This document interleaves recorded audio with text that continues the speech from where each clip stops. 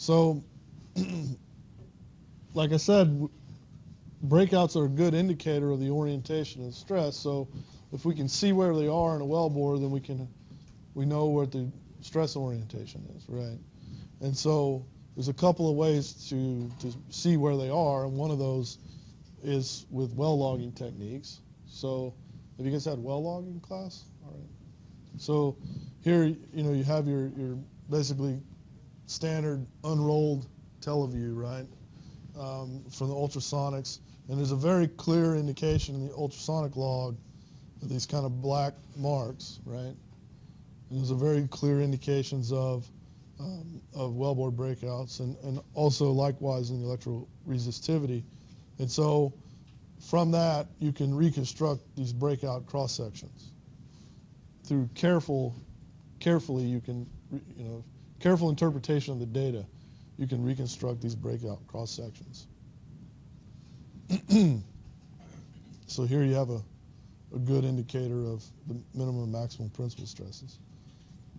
However, it is uh, it is very important to not misinterpret the data because breakouts are stress induced.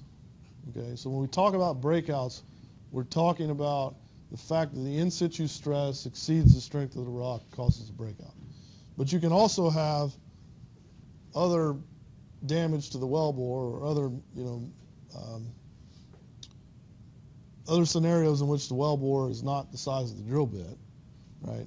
And those in, include washouts, which washouts are basically a overall enlargement of the wellbore, okay? And you can also have what, what they call key seat, and this is typically associated with deviated wells or horizontal drilling, and the fact that the, the drill string is resting on one side of the wellbore and, and sort of wearing a, you know, wearing an elongation out in the side of the wellbore, right? So we, want, we don't want to misinterpret uh, one of these two things as an actual breakout. So we have to use very careful interpretation.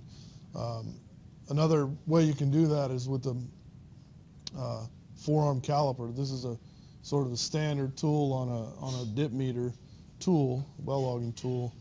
Um, that you know essentially it is what it sounds like. It, it has four four arms on a caliper that sort of trace out the inside of the.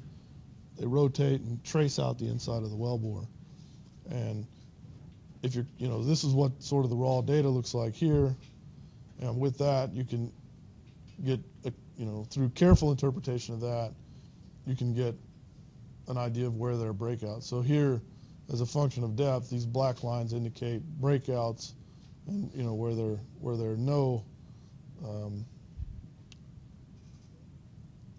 where there are no uh, black lines. There, there's essentially no no breakouts, and you can see here that these are the caliper traces uh, along the wellbore. I think this is an 8-inch wellbore, so it's an 8-inch wellbore. And you know, right in this region, you can see that all four calipers are measuring exactly 8 inches, and that corresponds to this region of no breakouts.